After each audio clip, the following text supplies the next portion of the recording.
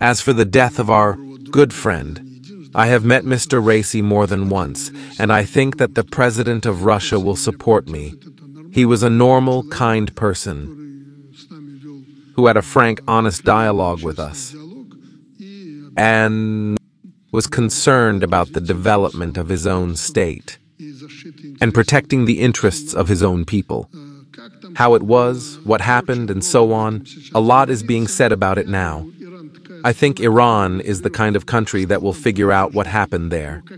But as a person, not as a president, I would say that the disgusting, disgusting position of the United States led to this. I mean, first of all, the sanctions. These scoundrels had no right to impose sanctions against ships, airplanes, helicopters, and other things that transport people. I think they also impose sanctions against ships in Russia, against us, against my, let's say, airplane. Well, they won't get Vladimir Vladimirovich because he's got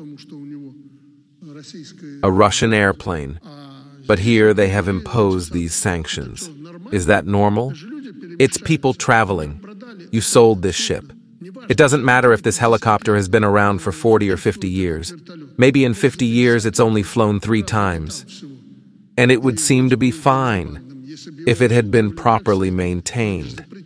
But they don't allow their companies. That's their fault, too. They're all believers. Well, if they are, they can wait. He'll send them a reply. That's no way to behave in the world. That's a testament to what Russia is doing today. And others who support it today, with the destruction of the unipolar world, it will be this multipolar world.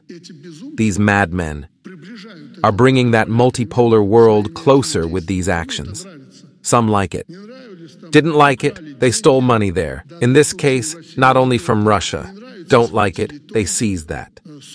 Some ship was arrested, a tanker was taken away, goods were taken away. Everything is allowed. They are strong. But I'm saying, if you're a believer, I'm not a mystic. But when the time comes, they'll answer for this, and they'll answer for it. They can't hide out there across the ocean. So it is their fault that if there was nothing that affected the helicopter, probably nothing that affected the helicopter, they will answer for it. They were forbidden to service that helicopter, that's for sure. I know that for myself.